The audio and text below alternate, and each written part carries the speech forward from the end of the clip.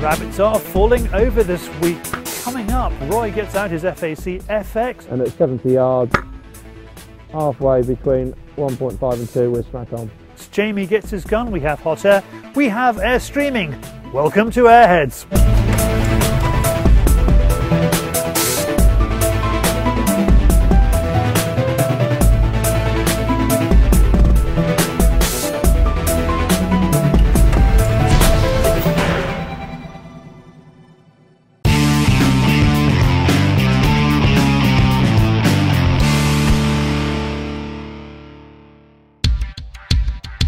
Roy is keen to start stretching the legs of his high powered FX 22. He wants to shoot quarry at range with confidence, so he needs to do some homework and understand the drop off of the pellet and how this corresponds to the reticle in the March scope, which is another thing to get his head around. This is the first scope Roy's used with the reticle in the first focal plane. So, as well as trying to shoot straight, he will try to explain what that means. The most interesting thing about the March scope that we've got fitted on the FX rifle here is that it has it comes with an MRAD reticle scale. Now that is set in the first focal plane. So basically what that means is it doesn't matter how far you zoom in or out, you've still got exactly the same scale to allow you to calculate your drop off. It'll become a little bit clearer because we're going to be filming through the scope when we're doing some of the, the target shooting out to range and you'll see that we should have exactly the same values of drop off. Whereas with a normal scope, you have to stay at one magnification range and then work out your drop-offs because as soon as you change your magnification range, that changes the value of the drop-off on the reticle. Right before we get to the rabbits, let's see where the pellets land at ranges from 30 to 70 yards thanks to the Eagle Eye Scope add-on with GoPro. He's had to move the Sports Match mount slightly to accommodate the Eagle Eye, but it doesn't interfere with the eye relief at all. There is a strong wind today, but it's coming from behind and across Roy's left shoulder. Okay, so we've got two shots at 30. What we're going to do now is we're going to shoot out to 40 and 50, work out what our drop-offs are. But what I want to try and do is show you just how the reticle works. So uh, you're going to be seeing exactly what I'm seeing as we're zooming in and out. So what I was saying about it being on the first focal plane. So as I zoom out,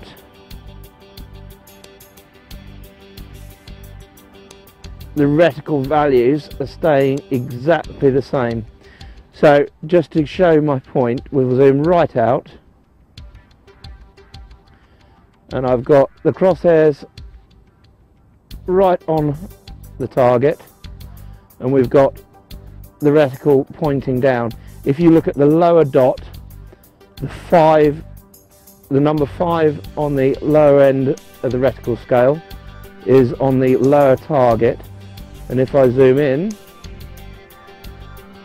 keeping zero on the target five is still on the lower target.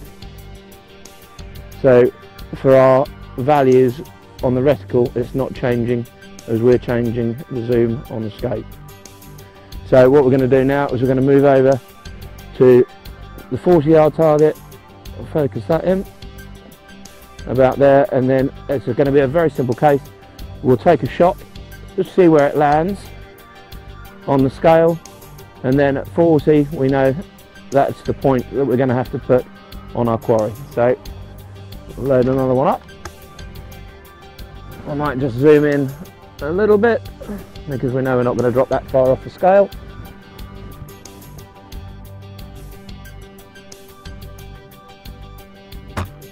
Oh, and we're smack on at 40. We'll move over to 50, just refocus. Now I would expect to see a little bit of a drop up for 50, but we'll just take a shot to give us some sort of idea where we are. There we go, target acquisition again. So at the moment we are zoomed in at about 29 times, we can come right in. So that is at 40 times magnification. There you can get very close and personal with the target, which I do like. I am a magnification junkie when it comes to shooting. So we'll put the scale on the target at 50. and we've dropped by half a point on there. We shall just come up the scale, so it's just over the half mark. So what we'll do is we'll put the half on the top of the ring there, 12 o'clock. So we've got half a value and a shot. And there we go. So we've got a little bit of windage there. It's just taking them over a touch. We'll take another shot.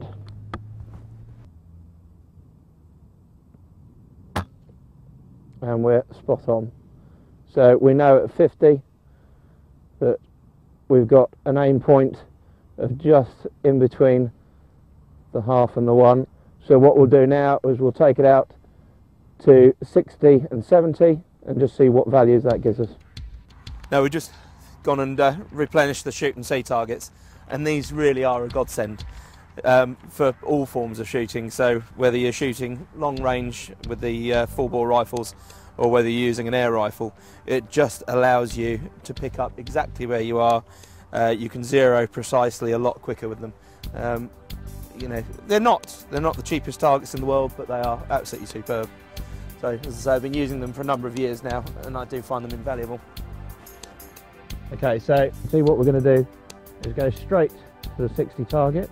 We know obviously that we are going to get a drop off, but to give us what sort of, well, to give us an idea of our drop off value, we're going to put the crosshairs straight on the target, and then we should be able to see on the box a rough mark of where we need to be going.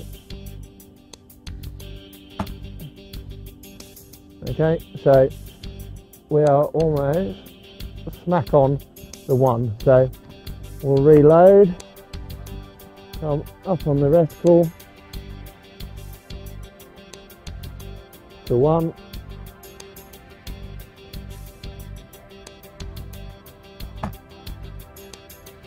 And that went about the right height, but over. But again, that could quite easily be wind. So that's starting to get out of where I would comfortably shoot a rabbit with this sort of wind because we're starting to come out of the centre ring on there. So if we've got a windy day like this, I would try and keep my shooting to 50 and below. Out to 60, that's starting to stretch out. We'll put another pellet in there. And again, it's just over to the right slightly from that wind. We're going to move it over onto the 70 yard target and just see where we are here. Okay, and we've got quite a drop on there. It looks around about between 1.5 and 2. So uh, rough go at that. The wind has pushed it a little bit as well. So 1.5 to 2 here, and we'll see where that takes us. I'm just going to hold off a little bit to the left to allow for a little bit of wind. And that'll about do it. So we know with the windage, we were having to come hold off to the left a little bit. And at 70 yards, halfway between 1.5 and 2, we're smack on. With the prep done and the rifle scope pellets and Roy doing the job, it's time for some rabbits. From the fence line, we spot two. Ready? Next one to the right.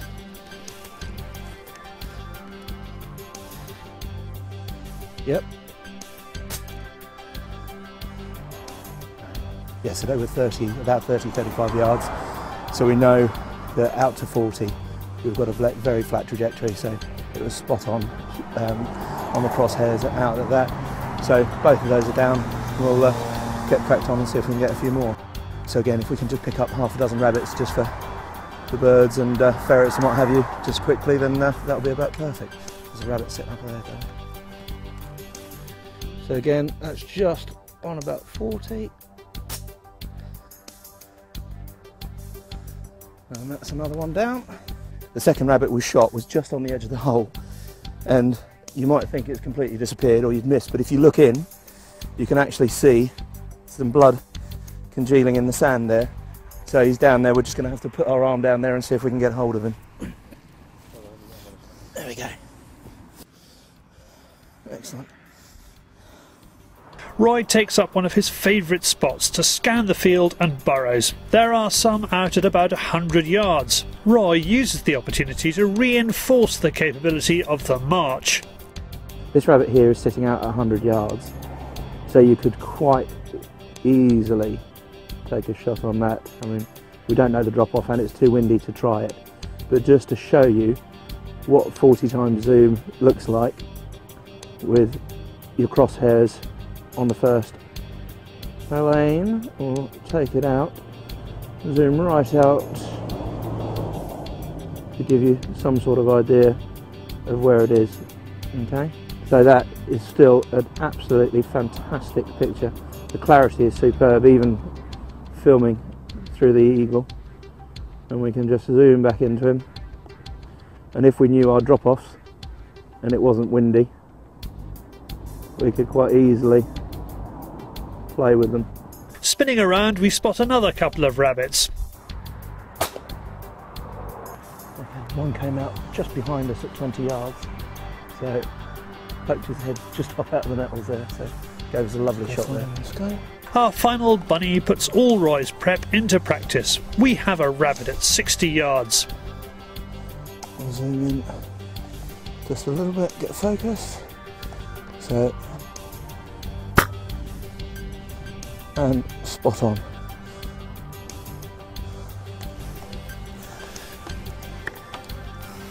Excellent. So, it worked absolutely perfectly.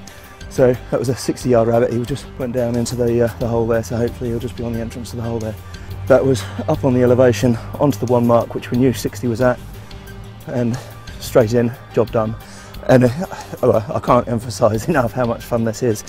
Again, the um, the FX air rifles that are just absolutely phenomenal in FAC, and it just everything that we're uh, we're coming on to, everything that we're pointing at, um, obviously within a, a permissible, sensible range with the wind that we have today, has been absolutely superb and a superb way of getting some nice fresh meat for the table as well. Roy now has a very productive air rifle setup from the sports match mounts to the FX pellets and the March scope. Next time we'll see if it's sensible to push them even further. For more information about these products, find the links in the film's description. Great shooting there by Roy, and if you are one of the very few people who have not seen his seminal pellet power and performance air gunning film, nearly 3 million views, then click on the link on the screen. Now, someone with 3 million followers on Twitter. Not. It's David with hot air. This is Hot Air. Bear Grylls recently removed references to snaring in his survival lineup, but he's up to his neck in air gunning. The TV celebrity has hooked up with Gamo to launch a new line of air pistols and rifles, including a 177 air rifle for under £100. One of the big events of the air gun year, the Midland Game Fair, returns to Weston Park in Shropshire on the 19th and 20th of September 2015. It will see the launch of Daystate's new range of pellets designed by the German pellet manufacturer H&N. Based on the popular H&N Field Target Trophy, they are branded the Kaiser series and come in screw top tins of 500. The Welsh and the English did well in the World Field Target Championships in Lithuania in August. Jack Harris from Wales came second and Welsh shooters took fourth and fifth. Ian Taylor from England came third. First placed was Sergei Zubenko from Russia. This is Daystate shooter Wyan Shoewinkle from South Africa at the event. There's a new field target series in the USA. Crosman Corporation has partnered with the American Airgun Field Target Association to create the Crosman National Field Target Series. Fancy shooting air guns and helping Help for Heroes and a Young Shots programme? Well, BASC is organising an airgun and a clay pigeon shoot at Cricket St Thomas in Somerset on the 5th of September. A brand new BSA Comet Evo air rifle is the top prize. Plus there's hot and cold refreshments and a bar. And finally, a pensioner who was driven potty by seagulls waking him up at 3.30am every morning took out an air rifle and shot one. Now Clive Preswell from the Wirral is going to court accused of wounding the protected birds.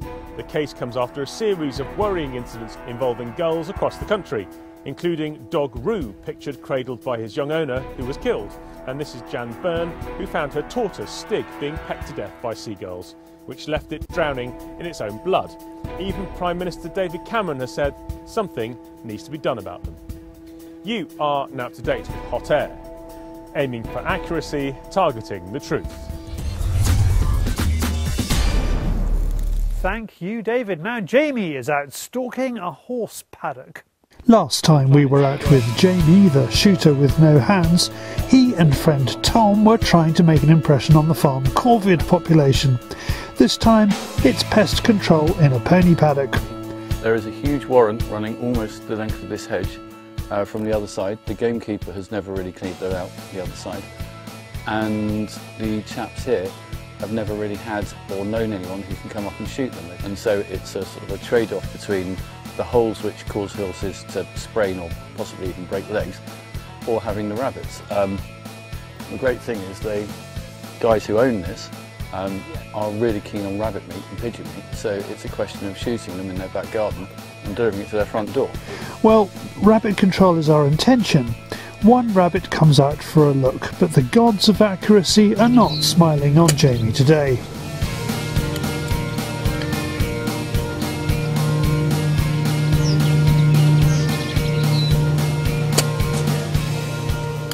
Not that is until a pigeon lands in the branches. Now, pigeons do not dig holes that cause horses to break their ankles, but they are pests nonetheless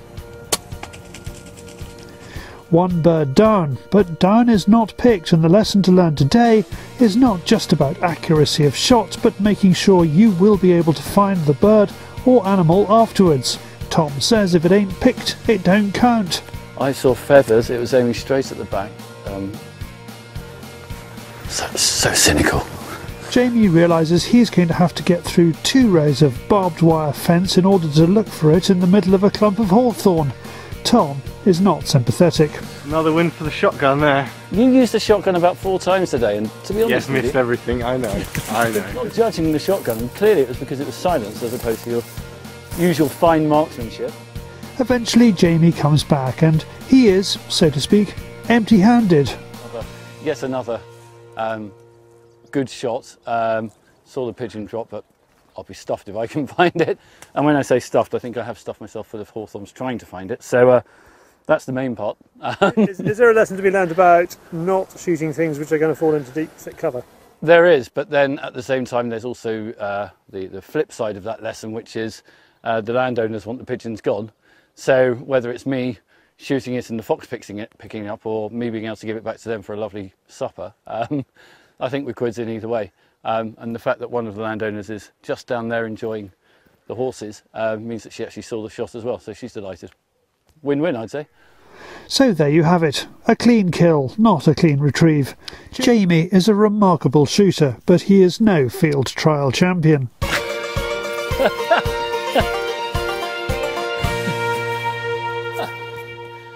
Thank you, Jamie. Let's see what other air gunners have been throwing up on YouTube. It is air streaming.